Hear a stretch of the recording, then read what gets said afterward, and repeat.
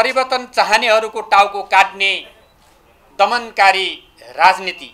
फेरि पनि लालबहादुरहरू जन्मिन्छन् र अन्तर्घात गर्छन्।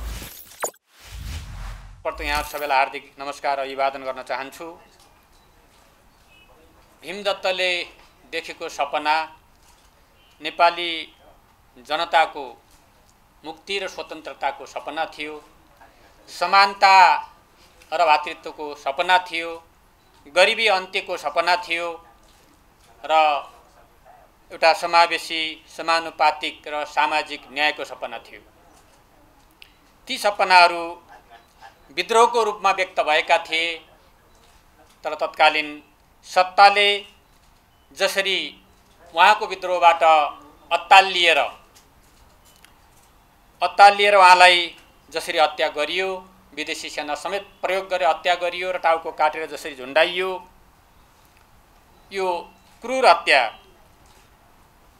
ले नेपाली राजनीतिमा एउटा गलत प्रवृत्ति त्यहाँबाट सुरु भयो र परिवर्तनकामीहरूमाथि दमन गर्ने परिवर्तनकामीहरूलाई हत्या गर्ने परिवर्तनकामीहरूका टाउका गिड्ने र उनीहरूलाई सखा पार्ने एउटा दुष्प्रयासहरू प्रारम्भ भए। दुई हजार सात साल हुँदै आठ साल नौ सालसम्म भीमदत्त पन्तले सञ्चालन गर्नको विद्रोह त्यसको अघि इतिहास यहाँ बताइसक्नु भएको छ। सुत्खोरहरूका तमसुकहरू जलाउँदै उहाँले गरेको आन्दोलन र उहाँले किसानहरूलाई सशस्त्र बनाएर लड्नुभएको लडाइँ त्यसको आफ्नै ऐतिहासिक महत्त्व छ। नवलजीले निर्माण गर्नुभएको चलचित्र र अघि वर्णन गरिएको इतिहासको कुरा म यहाँ फेरि दोहोऱ्याइराख्न पर्दैन। दुई हजार दस श्रावण सत्र गते उहाँको जसरी निर्ममतापूर्वक हत्या गरियो त्यसले पनि नेपाली राजनीतिमा केही सङ् केही न अर्को प्रवृत्तिलाई उजागर गरेको छ। यी दुईवटा प्रवृत्तिहरू ती राजनीतिक क्षेत्रमा दिएका प्रवृत्तिहरूलाई हामीले आजका दिनसम्म पनि बेहोरिरहेको अवस्था छ। त्यस कारणले परिवर्तन चाहनेहरूको टाउको काट्ने दमनकारी राजनीति दमनकारी सत्ताका विरुद्ध नेपाली जनताले बार बार विद्रोह गरेका छन् सङ्घर्ष गरेका छन्। त्यसै गरी भीमदत्तको सेरोफेरोमै दुई हजार आठ सालबाट पाल्पा हुँदै रुकुम र हुम्लासम्म गएर गौडा कब्जा गर्ने कामी बुढा उहाँ पनि किसान सङ्घकै सदस्य हुनुहुन्थ्यो। म यहाँलाई स्मरण गराउन चाहन्छु कामी बुढाले पनि शस्त्र सेना निर्माण गरेर गौडा कब्जा गर्नुभएको थियो। र उहाँलाई पनि नौ सालमा गिरफ्तार गरिएर दुई हजार एघार सालमा जुम्लामा निर्मतापुर हत्या गरिएको थियो। भीमदत्त पन्तले सुरु गरेको आन्दोलनलाई उहाँले साथ दिँदै अझ अगाडि बढाउनु भएको थियो र उहाँको पनि त्यसै नै हत्या भएको छ। इतिहासमा हाम्रा भक्ति थापाहरूको इतिहास हामीले सुनेका छौँ। र नेपालको राष्ट्रियताका लागि नालापालीमा लड्ने नेपालीहरूको कथा हामीले सुनेका छौँ। नेपालको राष्ट्रियता नेपालको सार्वभौमिकता र नेपाली जनताको पक्षमा लड्नेहरूलाई जहिले पनि दमन गरिएको छ। त्यसकै विकसित रूप त्यसकै परिमार्जित रूप विभिन्न आन्दोलन हुँदै जनयुद्धको एउटा प्रक्रियाबाट अगाडि बढेर त्यसले जनताका न्यूनतम मागहरूलाई राजनैतिक सैद्धान्तिक र संवैधानिक रूपले पुरा गर्ने काम गरेको छ। समानता र स्वतन्त्रताको कुरा समानुपातिक र समावेशिताको कुरा जातीय विभेदको अन्त्यको कुरा गरिब उत्पीडित वर्ग सबैलाई सामाजिक न्यायको कुरालाई संवैधानिक राजनीतिक रूपले पुरा गरेको छ र व्यवहारिक जीवनमा पुरा गर्नुपर्ने आजको चुनौती हो। आजको आवश्यकता हो। व्यवहारिक रूपमा हामीले कसरी पुरा गर्ने भन्ने बारेमा भीमदत्तले सुरु गरेको भूमि सुधारको कुरा आज पुरा भएको छैन। फेरि पनि फेरि पनि त्यसलाई कसरी हामीले पुरा गर्ने भन्ने बारेमा प्रयासहरू अझ निरन्तर गर्न जरुरी छ ती भीमदत्तका सपनाहरूलाई पुरा गर्नका लागि।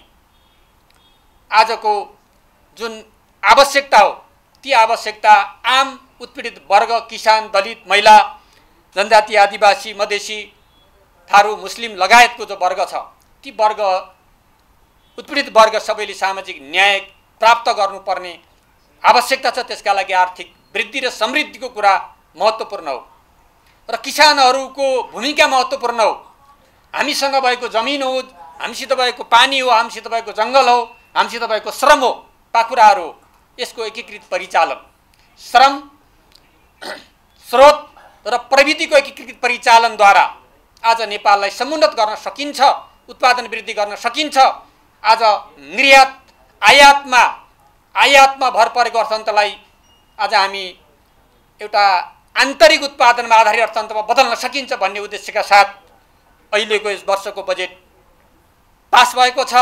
त्यस बजेटले किसानका महत्त्वपूर्ण भूमिकालाई अझ माथि उठाउने प्रयत्न गरेको छ। किसान अघि भक्कै भन्नुभयो लघुवित्तहरूको पीडा लघुवित्तहरूले अब सहुलियत ऋण दिनुपर्छ भन्ने कुरा आज संसदले पारित गरेको छ।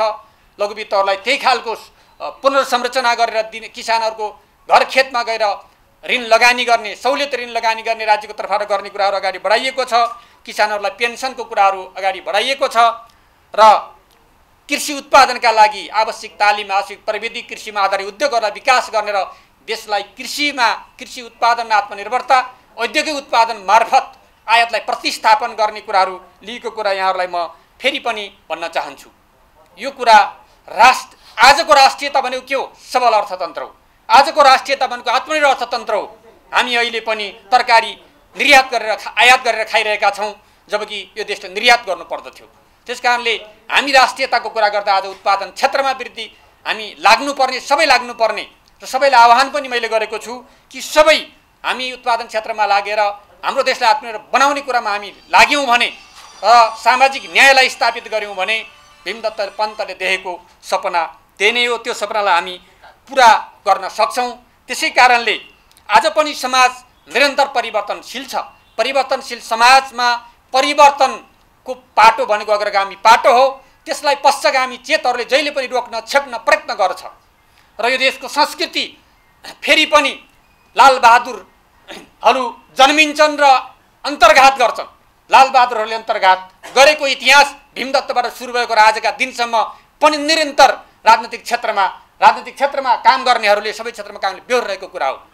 त्यस कारणले आफ्नै मृत्युले अन्तर्घात गरेर महान नेता क्रान्तिकारीको हत्या गर्न सक्ने एउटा नराम्रो इतिहास राजनैतिक क्षेत्रमा छ। त्यस कारणले क्रान्तिकारी र परिवर्तनकामीहरूको टाउको काट्ने प्रचलन पनि छ। यी प्रचलनहरूका विरुद्ध आज सचेत सबै वर्ग सबै क्षेत्र चाहे सञ्चार क्षेत्र होस् चाहे किसान होस् चाहे बुद्धिजीवी होस् सबैले हामीले राष्ट्रियताको पक्षमा हाम्रो देशको पक्षमा जनताको परिवर्तनको पक्षमा यी कुराहरूलाई सकारात्मक कुराहरूलाई स्थापित गर्दै नकारात्मक कुराहरूलाई न्यूनीकरण गर्दै अन्त्य गर्दै जानुपर्ने आजको आवश्यकता रहेको कुरा म गर्न चाहन्छु। र परिवर्तनको कुरा सापेक्षिक रूपले अगाडि बढ्छ। एउटा चरणमा एक ढङ्गले अगाडि बढ्छ भने अर्को ढङ्गले अर्को ढङ्गले अगाडि बढ्छ।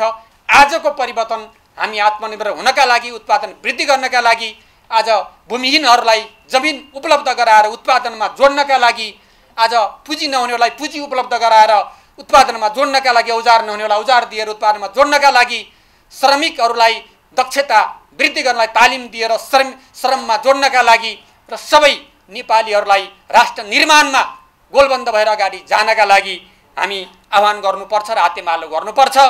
र यसरी हामी गयौँ भने हाम्रो देशको अर्थतन्त्रलाई सबलीकरण गर्न सकिन्छ। त्यसलाई सक्षम बनाउन सकिन्छ आत्मनिर्भर बनाउन सकिन्छ। हामीसँग सबै कुरा छ उपलब्धता छ।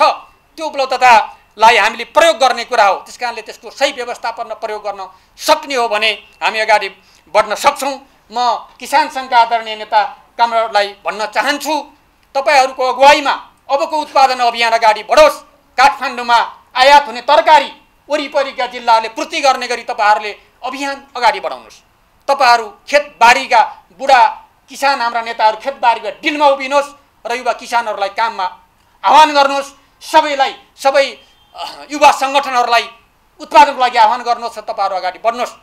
आज हामीले आयात गरेर खाइरहेको कुरालाई अन्त्य गर्नुपर्छ। तरकारीमा हामी छ महिनामा आत्मनिर्भर हुन सक्छौँ। यदि यो अभियानमा सबै साथ दिने हो सबै लाग्ने हो भने हामी देशलाई आत्मनिर्भर बनाउन सक्छौँ।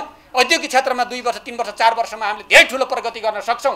त्यस कारणले ती क्षेत्रहरूलाई प्रमोद प्रमोसन गर्ने तिनीहरूलाई प्रेरित गर्ने गरी नै अहिले बजेट यो अहिलेको सरकारले ल्याएको कुरा पनि यहाँहरूलाई बितिँदै छ। त्यसलाई कार्यान्वयन गर्ने चुनौती हाम्रो अगाडि छ। सबै मिलेर कार्यान्वयन गरौँ देशलाई आत्मनिर्भर बनाऊ संविधानमा लेखिएका मौलिक अधिकारहरूलाई जनताले प्रयोग गर्ने ठाउँमा पुर्याउनको लागि आर्थिक समृद्धि आवश्यक छ आर्थिक उत्पादन आवश्यक छ। त्यसबाट मात्र हामी देश अगाडि बढ्न सक्छौँ।